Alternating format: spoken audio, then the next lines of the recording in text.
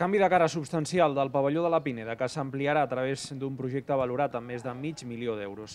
Les obres ja s'han adjudicat, començaran el mes vinent i preveuen afegir un nou cos de vestidors annex a la façana sud-oest de la nau principal per duplicar la capacitat d'ara.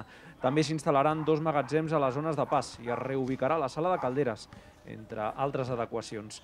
La millora de l'equipament facilitarà la seva utilització per part de diversos equips, optimitzant els horaris d'activitat sense necessitat d'esperes.